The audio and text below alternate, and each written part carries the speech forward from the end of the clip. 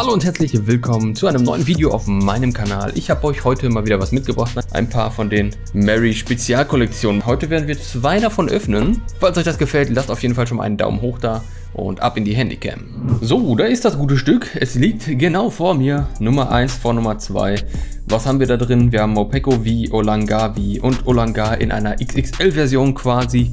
Und dann noch 5 Booster von Weg des Champs. Ja. Mary ist vorne mit da drauf. Morpeko in Evil ist mit da drauf. Ja. Und Olangar. Hinten drauf steht nochmal eine kleine Beschreibung, die könnt ihr euch gerne mal durchlesen, wenn ihr möchtet. Dann hier nochmal die Auflistung, was da Schönes drin ist.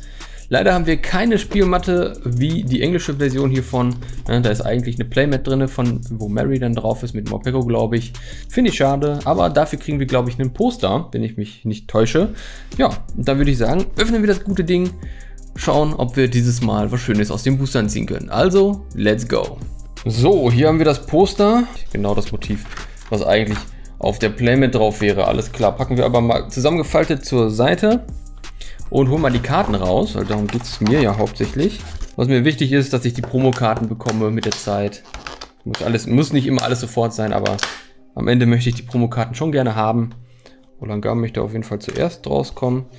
Dann Mopeko so, schauen wir uns das mal an. Der Zustand der Karte, würde ich sagen, ist gut. Das Olangar kommt mir bekannt vor. Das sieht aus wie das ganz normale Olangar, was man aus den Boostern von, ich weiß nicht, Flammende Finsternis oder so bekommen konnte. Oder Clash der Rebellen, ich bin mir gerade nicht sicher. Ist halt eine Promo. Hier drauf sieht man so ein bisschen so diesen, diesen Abdruck von der Verpackung. Seht ihr das? Ich weiß nicht, ob man das wegkriegt.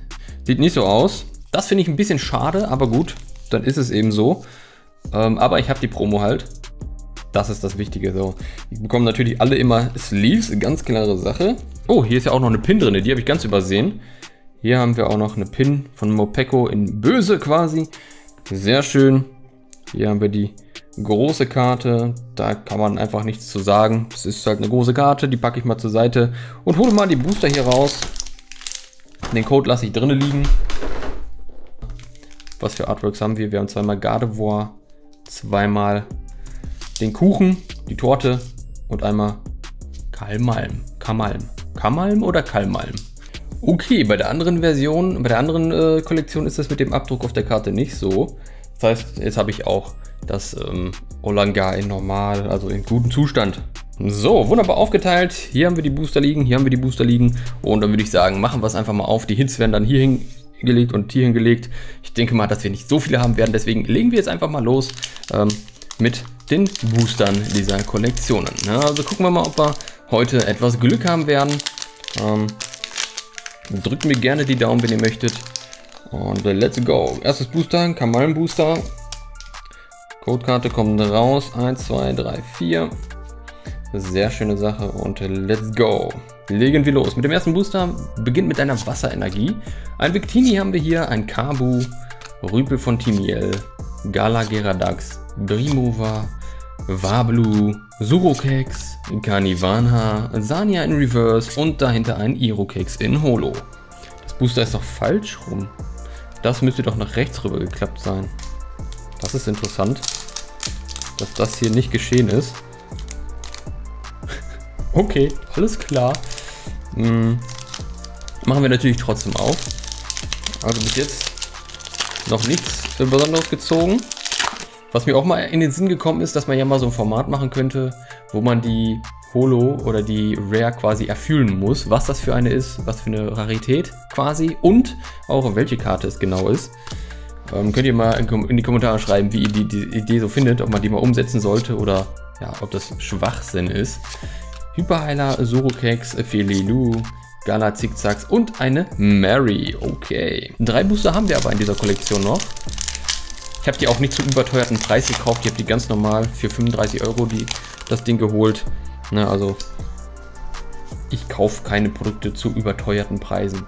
Ja, bei der Top Trainer Box, ja, kann man sagen, dass man da mal einen 10er oder so drauflegt oder vielleicht sogar 20, aber mehr auch nicht, weil es einfach ein, ja, sehr schönes Produkt ist und wenn man das ausgeben möchte, kann man das machen. Man kann natürlich auch irgendwo gucken, ob man das nochmal zum normalen Preis kriegt oder man wartet einfach, vielleicht kommt ja nochmal ein Reprint, wie jetzt auch für Verborgenes Schicksal im, in, im Januar 2021. Tufel Stadion haben wir hier und als nochmal einen Irokex. Okay. Irokex will mich heute mobben, habe ich das Gefühl. Zwei Booster schon, wo das falsch rum ist. War das beides Gardevoir? Ne, Gardevoir, oder? Ich weiß es nicht. Keine Ahnung. Könnt ihr gerne nochmal zurückspulen und gucken, ob es beide, beide Male äh, ein Gardevoir war. Und ich schaue währenddessen mal, was hier in dem Booster drin ist. So.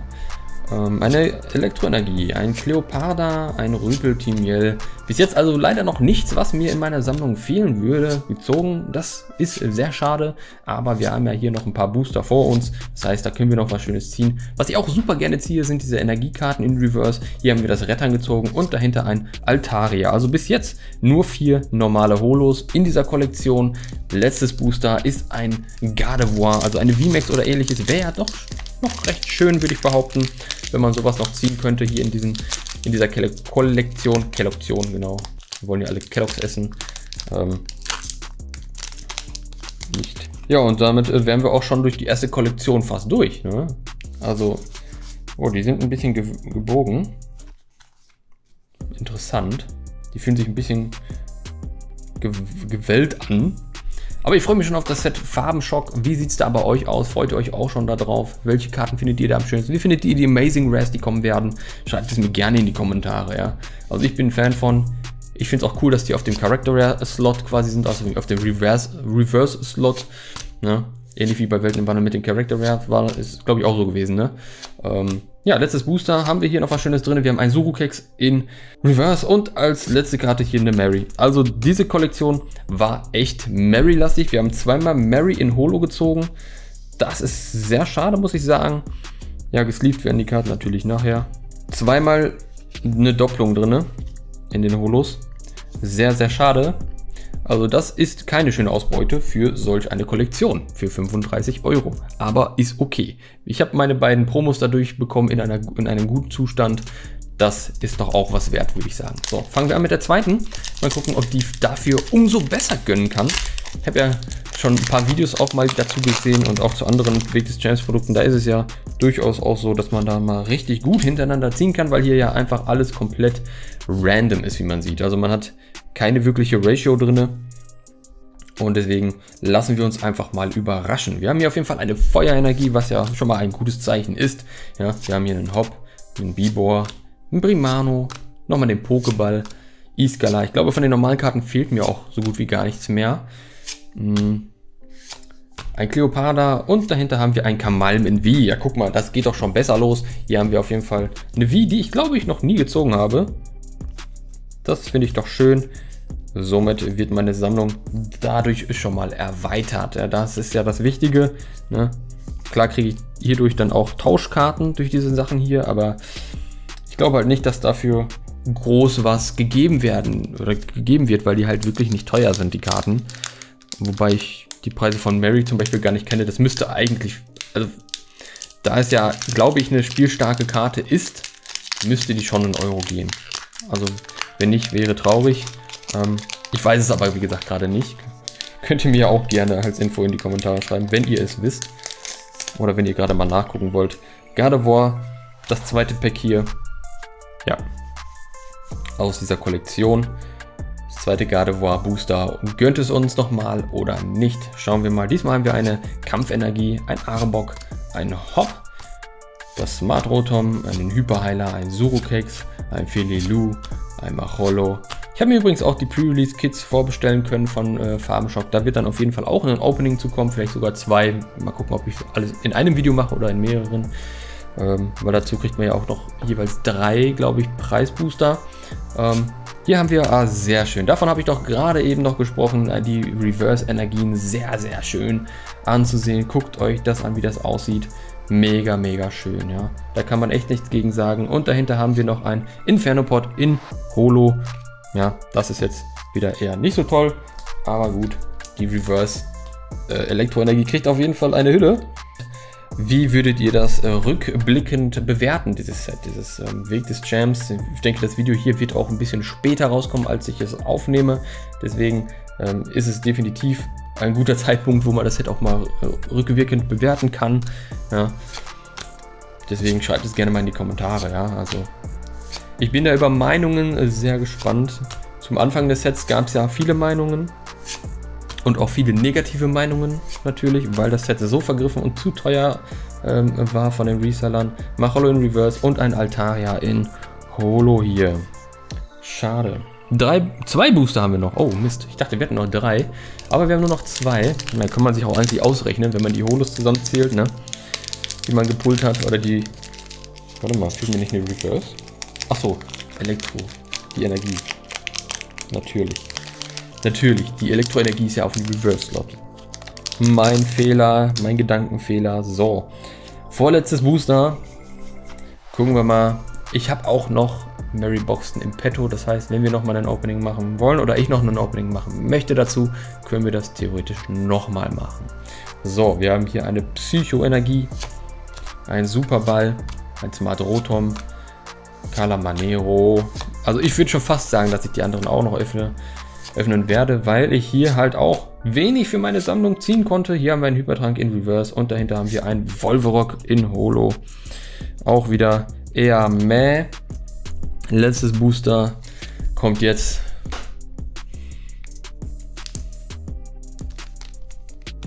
Das ist auf jeden Fall normal verschlossen. Ist wieder ein ähm, Ne, mir fällt der Name wieder nicht ein. Pokusan. Pokusan müsste es sein. In VMAX. Schauen wir mal, ob uns das jetzt nochmal Glück bringen wird. Jetzt noch einmal alle in die äh, Daumen drücken. Wünscht mir Glück, falls ihr es noch nicht getan habt, ja. Und äh, letztes Booster startet mit einer Stahlenergie, ja. So wie, wie, wie wir es sehen wollen, das letzte Booster immer mit einer Stahlenergie.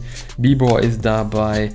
Hop ist mal wieder mit am Start. Das ist übrigens die einzige Character Rare, die man in Full Art ziehen kann in diesem Set hier. Huan Liu, Kokuna. Okay, kommt jetzt noch Bibor? Nein, schade.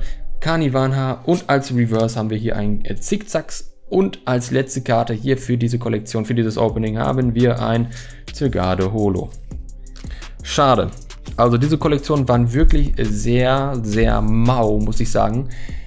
Tja, das finde ich schade. Ich werde die jetzt alle einhüllen. Ihr könnt gerne, gerne in die Kommentare schreiben, wie ihr das fandet. Eure Bewertung dazu in die Kommentare, euer Feedback zu diesem Set hier nachwirkend.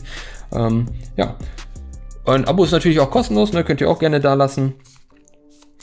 Und ansonsten würde ich sagen, sehen wir uns beim nächsten Mal wieder. Die Glocke aktivieren nicht vergessen, falls ihr das Abo da lassen solltet. Und dann war es das von mir. An dieser Stelle, euer Andi von Collect and Trade. Bis oh, zum oh, nächsten Mal oh, und ciao.